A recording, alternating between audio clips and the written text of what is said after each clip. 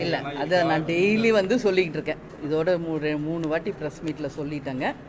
இன்னும் நிறைய டைம் இருக்குது நம்மளுக்கு சட்டமன்ற தேர்தலுக்கு. தொண்டர்களுடைய விருப்பம் வந்து தனிச்சு போட்டியிடணுன்றது நாங்கள் காணொலி காட்சி மூலம் தமிழ்நாடு முழுக்க நாங்கள் பேசுகிறப்ப தொண்டர்கள் விருப்பமாக அது இருக்குது ஆனால் செயற்குழு பொதுக்குழு கூட்டி கேப்டன் அவர்கள் ஒரு நல்ல முடிவை தை பிறந்தால் வழி பிறக்கும் சொல்லுவாங்க. அந்த தை மாதம் ஒரு நல்ல ஒரு முடிவை கேப்டன் அறிவிப்பார். நிலைப்பாடு தான் தலைமையோட அவங்க கருத்து அப்படி. ஏன்னா எப்பயுமே தனித்து போட்டிட்டு களம் கண்டவர்கள் தேமுதிக அதை நிரூபித்தவர்கள் தேமுதிக அதுக்கப்புறம் கூட்டணி போயிருக்கோம். இந்த முறை நம்ம தனிச்சு போட்டிட்டு நம்மளுடைய அது பெரும்பான்மையை நிரூபிக்கணும் அப்படின்னு அவங்க விருப்பம் இருக்குது. பொறுத்திருந்து பாருங்கள் இன்னும் நிறைய டைம் இருக்கு ஜனவரி வரைக்கும் அது வரைக்கும் என்னெல்லாம் அரசியலில் மாற்றங்கள் ஏற்பட போகிறது.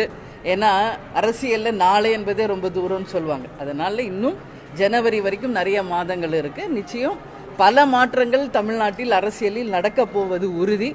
அதனால தான் நாங்கள் சொல்றோம் தை மாதம் நிச்சயமாக ஒரு நல்ல முடிவை செயற்குழு பொதுக்குழு கூட்டி கேப்டன் அறிவிப்பார். பாஜக கூட்டணி மட்டும்தான் வர்ற ரெண்டாயிரத்தி இருபத்தொன்னு சட்டமன்ற தேர்தலில் கூட்டணியில் இருக்க மட்டும்தான் வந்து ஆட்சியை பிடிக்க முடியும் தமிழகத்தை கைப்பற்ற முடியும்னு சொல்லியிருக்காங்க. இதை நீங்கள் எப்படி பார்க்குறீங்க அவங்கவுங்க கட்சி மேலே அவங்கவுங்களுக்கு ஒரு நம்பிக்கை. யாருடைய நம்பிக்கையை நம்ம வந்து குறைச்சது? சொல்ல முடியாது. அவங்க நம்பிக்கை அவங்க சொல்கிறாங்க அது மாதிரி தான் இன் எங்கள் நம்பிக்கை என்னவோ அதை நாங்கள் சொல்கிறோம் ஆனால் இன்னைக்கு இரண்டு பெரிய தலைவர்கள் இல்லாததுனால பெரும்பான்மையை நிரூபிப்பது எந்த ஒரு கட்சிக்குமே மிகப்பெரிய ஒரு சவாலாக இந்த தேர்தல் இருக்கும் அப்படின்னு நான் நேற்று கூட சொல்லியிருக்கேன். நிச்சயமாக இந்த வரப்போகும் ரெண்டாயிரத்தி இருபத்தொன்று ஒரு மாபெரும் ஒரு மாற்றமாக இருக்கும் அப்படின்றதுல நான் உறுதியாக நம்புகிறேன் இரண்டு தலைவர்கள் இல்லாத வெற்றிடத்தை கண்டிப்பாக. ஏன்னா அந்த இரண்டு பெரிய தலைவர்கள் இருந்தபோதே எதிர்க்கட்சி தலைவரான ஆனவர் நமது கேப்டன் அவர்கள். அதனால் அவங்க இரண்டு பேர் இருக்கும்போதே கட்சி ஆரம்பித்தவர் நிரூபித்தவர் எதிர்க்கட்சி தலைவர் ஆனவர் அதனால் நிச்சயமாக அவர்களுக்கு அடுத்து கேப்டனுக்கு மட்டும்தான் அந்த கேப்டனுக்கு மட்டும்தான் அந்த தகுதி இருக்கிறது தமிழ்நாட்டில்.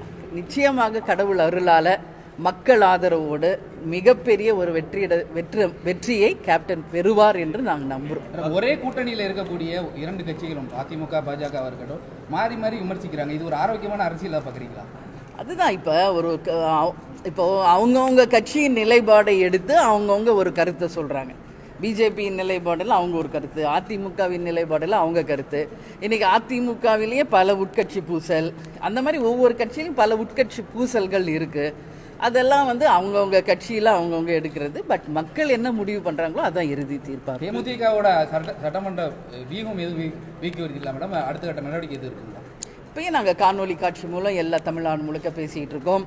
அடுத்த கட்டமும் பேச போகிறோம். இது கே- செப்டம்பர் பதினாலு எங்களுடைய கட்சி நாள் அதற்கு பிறகு தமிழ்நாடு முழுக்க எங்களுடைய பிரயாணங்கள் இருக்கும். ஒவ்வொரு மாவட்டமாக கிராமங்கள்லாம் நாங்கள் போய் மக்களை சந்திக்க இருக்கிறோம். தொண்டர்கள் மிக உற்சாகத்தோடு இருக்காங்க.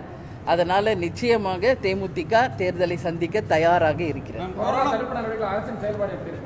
அதுதான் சொன்னேன். நிறையும் குறையும் கலந்த ஒரு ஆட்சியாக இதை நான் பார்க்கிறேன். நேற்றே சொன்னேன்.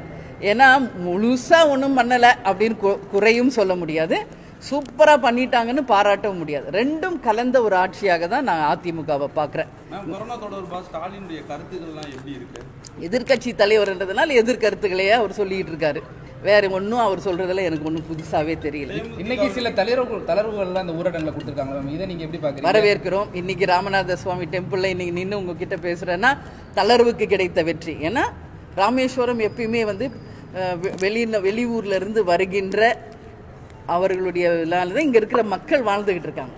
ஸோ இத்தனை நாள் லாக்டவுன் ஆனதுனால எவ்வளவோ பிரச்சனைகளை மக்கள் இங்கே சந்திச்சிருக்காங்க. லாக்டவுன் தளர்வுகள் வரவேற்கக்கூடிய ஒன்று.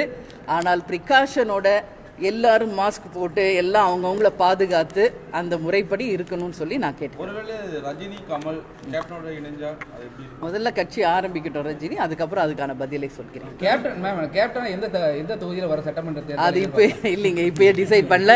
டைம் நிறையா இருக்கு நான் சொல்றேன். அதுக்கப்புறம் கேப்டன் சொல்லு.